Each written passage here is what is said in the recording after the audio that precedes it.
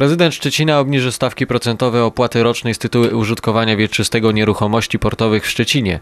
To reakcja na orzeczenie samorządowego kolegium odwoławczego w Szczecinie, które zapadło w piątek 21 listopada bieżącego roku. Samorządowe kolegium odwoławcze wydało orzeczenie, w którym stwierdza, że stawka procentowa opłaty rocznej z tytułu użytkowania wieczystego nieruchomości portowych w Szczecinie i Świnoujściu powinna być obniżona z 3% do 0,3%.